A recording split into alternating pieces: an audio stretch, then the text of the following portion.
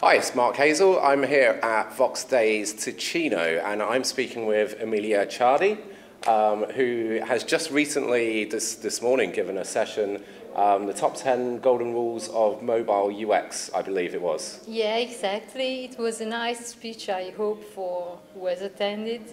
And it just went through the, the 10 uh, yeah, rules or, or let's say they are more like guidelines that you can follow to, to make sure that you are doing it the right way. I mean, when it comes to mobile UX, it is a very competitive scene and you really want your app to stand out. So it's really important to, to check on uh, uh, every element, every detail of your user experience to assess that you are not leaving on the table uh, some good opportunities. Sure. So I, I, I came into the room um, and I saw some of the slides, but the talk was in Italian, so okay. you'll have to excuse uh, the fact that I didn't um, catch everything. But I mean, if you were to give um, three pieces of advice um, on UX, uh, what would be your, your golden um, nuggets, as they were? The first one is to uh, respect the user's time because you really want that your uh, UX is smooth and every task that you really want to uh, make the user able to accomplish should be really smooth, streamlined, so that his time is really respected. And the second thing you really want to do is to care about uh, you know, the ergonomy of your app because we are seeing uh, um, a constant increase. Let's hope that this is going to stop now or, or for the size of mobile phones. And this poses some challenges. Uh, even uh, Apple has recognized uh, this problem, uh, introducing the reachability double tap on the home button. And yes, because uh, uh, if you use with just one hand your device, as you are probably accustomed uh, when we had just an iPhone 4 or maybe an Android S2, uh, we could just basically, uh, you know, keep it in one hand and doing everything and do everything with just with the thumb. But now it is not more possible. recent studies show that we uh, tend to use more and more our devices in a cradled position. Uh, so uh, we should take this into account to, to work um, to make uh, everything smooth, even in the situations where our users are, uh, are not going to use it in a cradled position. And this means uh, uh, be able to also measure what your users are doing. And this would be my third real uh, strong suggestion. You have to measure what your users are doing. Uh, we are in the lean, uh, you know, economy, in the lean era, and you really want to uh, make analytics flow from uh, the real thing that is happening on, on the market with your app. You want to track them, and you want to react properly, both to discover potential UX problems and to, you know, provide strategic guidance for the future of your app. Yeah, it's, it, we're, we're in interesting times really because recently the, the explosion of responsive design.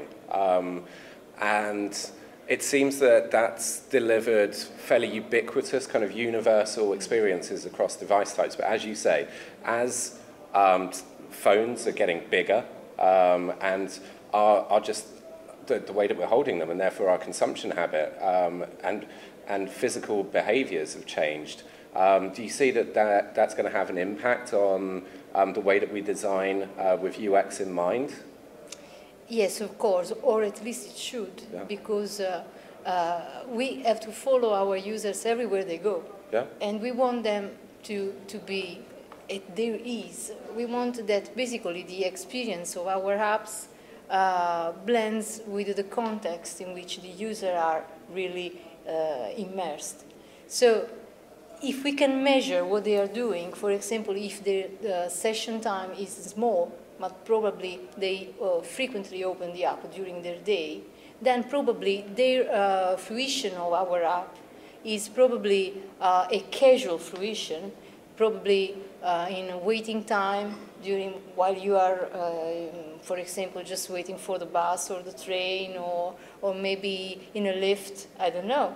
So for a user that uh, uh, can connect with your app in, in small bits, this means something.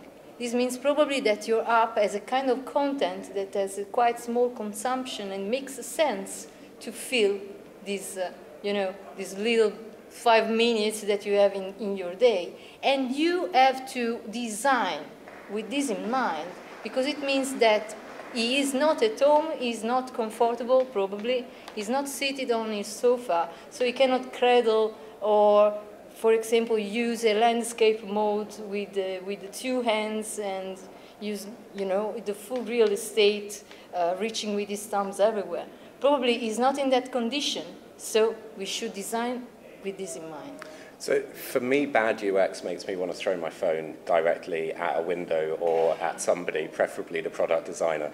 Um, but um, it seems to me the more we nail UX, um, the more maybe products will be designed around or, or the impact is going to be so much greater because yeah, we, we, can, we can take the data um, and we can put it into um, contextual experiences now. Um, so how do you see um, the advent of great UX really impacting future product development? Well, of course, this is a difficult question. We already are seeing a, so many uh, you know, cool apps, I mean, apps that really can interpret the, these new modern times. I mean, we feel comfortable with the Spotify. Yeah. We feel that Spotify has nailed in it, sorry. And, and this is not by chance. Uh, everything is evolving, it is so smooth, and the, the technology opens uh, gates that uh, just a few years ago were not even imaginable. And this is uh, really something that um, you know, shows in the app that uh, are coming uh, out on the market. This is a new exciting frontier. We should embrace it and really try to interpret what people want. And we are, we are these people, basically. We are all users of and consumers of mobile apps. So, so yeah, yeah. I think we can have a try. So I think that I could probably sit here for hours and talk to you about this. Um, but, uh, I mean, in terms of moving forward, it seems that there are some real challenges just around the corner as well. So um, we've, we've lived in, the, in this um, world where we've been told that sticky is good, retain the, the, the user's attention. But now with the advent of IoT and we've got more devices going into, into the home or you've got a device where um, in your car, which is getting uh, uh, better and better, um, that, that's the kind of thing that you don't want the consumer's attention to be drawn to constantly um, but you need it to do just enough, um, or you need it to, to nail exactly um, all, all of the right elements whilst, um, whilst kind of switching off or, or, or, just almost not being there in the, in the customer's eyes. So that's a real challenge for people going forward.